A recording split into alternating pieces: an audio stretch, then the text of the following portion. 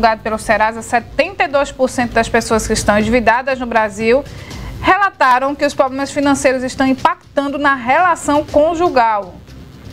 Ou seja, quando o casal está com dívidas, o negócio né, não tem amor que dê jeito. Sobre esse assunto, a gente chama ao vivo Juliana Santos para conversar com a gente.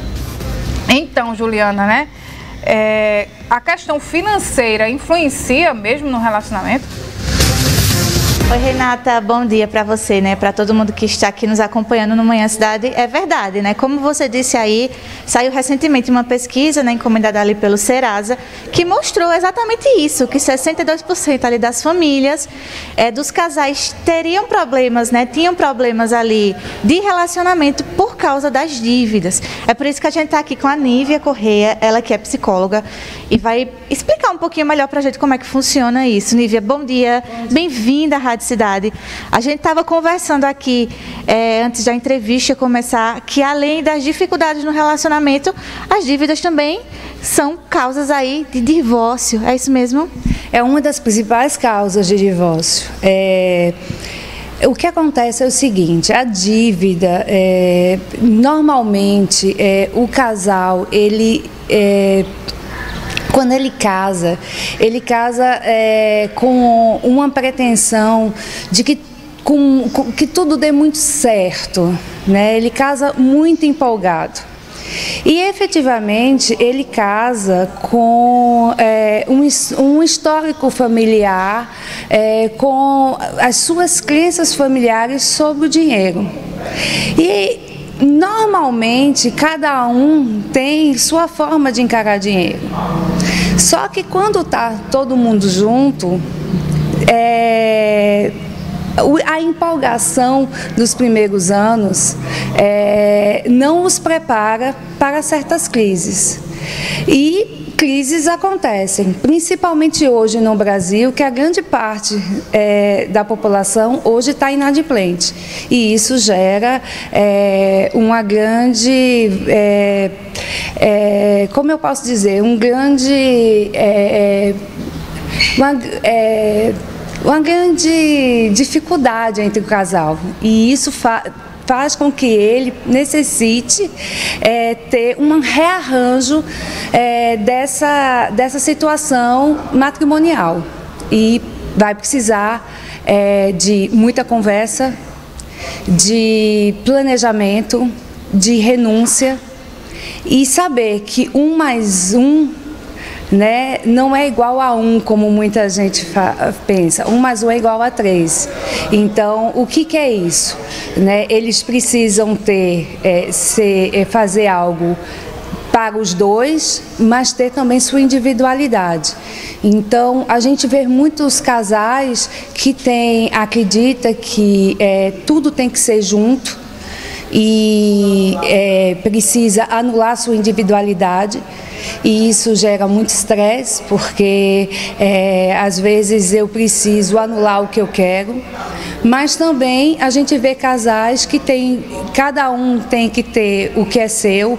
Por exemplo, é, o, eu vi uma entrevista do Gustavo Zerbasi que fala muito bem sobre a parte de planejamento financeiro, que ele diz que, tem, é, que ele é, fez uma entrevista com um casal onde a esposa comprou o apartamento e o marido pagava o aluguel para ela, sem saber que ela já tinha um apartamento.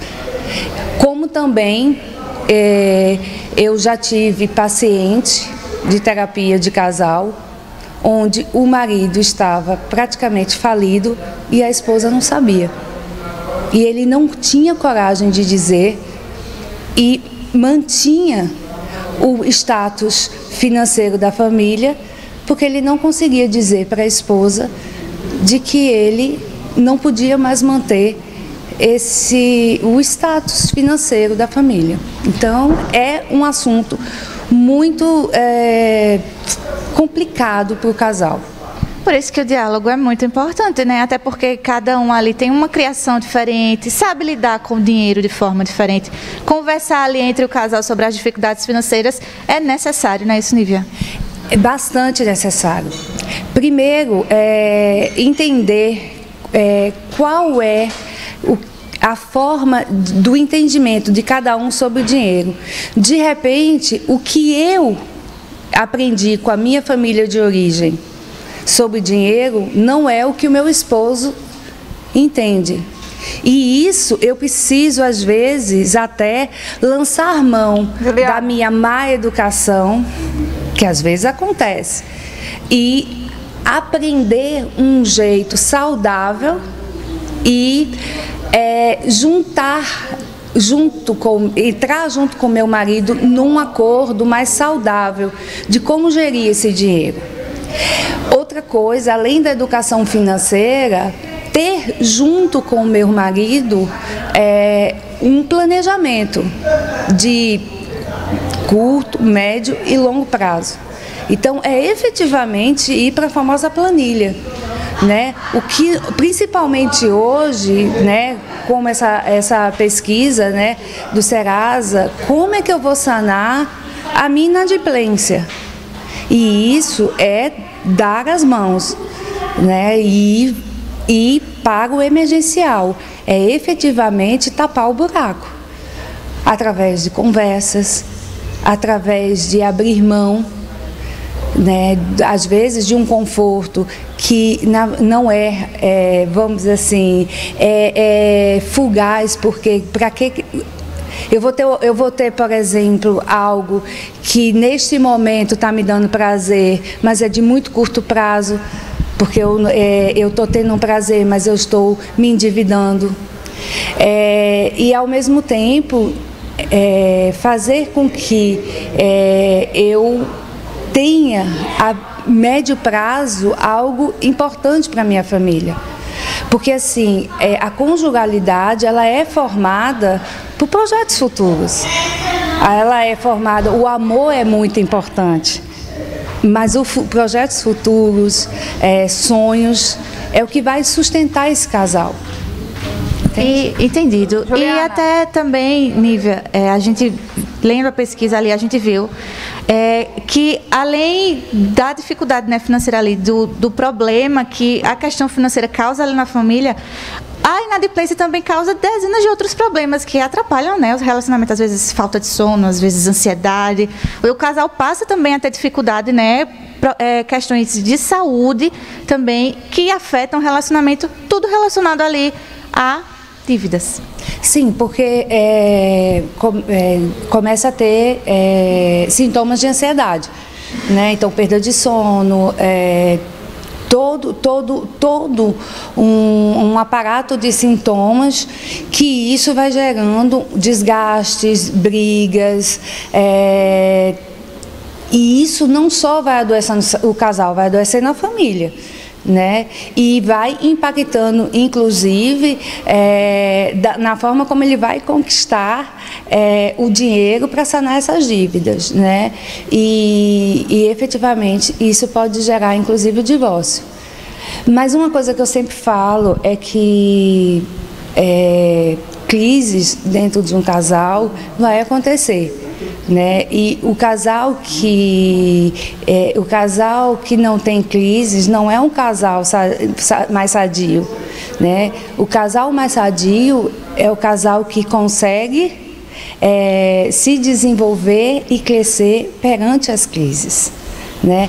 Então, é, não devemos fugir das crises, né? colocar a sujeira debaixo do tapete, e sim é, crescer e encarar as crises e quando, obviamente, isso estiver muito difícil, procurar ajuda. Né? Pra, por isso que tem profissionais, é, não só no, no, ramo da psicologia, mas também é, no ramo das finanças. Hoje é, a gente vê aí nas redes sociais vários vídeos, livros que podem ajudar esses casais que estão passando por crises financeiras né, a, a ter informações que possam é, serem muito pertinentes para que eles melhorem né, a saúde financeira da família. Eu acho que isso é muito importante. Busquem informação, busquem apoio e efetivamente busquem o diálogo e a conversa para que eles possam se ajudar mutuamente, né? E assim sair dessa crise não só financeira, mas relacional. Perfeito. Muito obrigada, Nívia, pelas orientações. A gente conversou aqui com a Nívia Correia, ela que é psicóloga, e orientou exatamente sobre a, a falta ali, a dívida, as dívidas das famílias, dos casais e como isso pode afetar os relacionamentos. Como Nívia disse aqui para a gente, o diálogo é importante, o planejamento é importante e necessário também procurar ajuda financeira, procurar ajuda psicológica. Tudo isso vai auxiliar aí para que o casal enfrente aí essa crise, né, sem muitos danos, né, sem muitos prejuízos. Renata.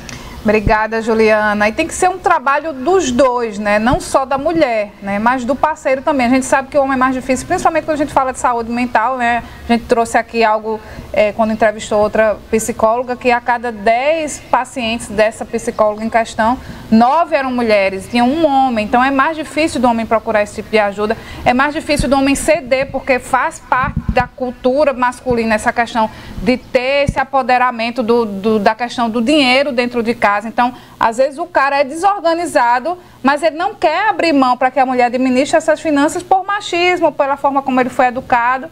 E isso precisa ser levado em consideração, porque a gente sabe que na Bíblia tem dizendo que a mulher edifica o lar. Mas nos, nos, dias de hoje tem que ser um trabalho dos dois, né? Do casal. A gente está falando, é o casal. A gente tem um pouco mais de, de, jeito e tal, mas se não partir das duas pessoas no relacionamento, não vai para frente. Tem que ser um trabalho de dupla, mais que casal, um trabalho em equipe. Obrigada, Juliana.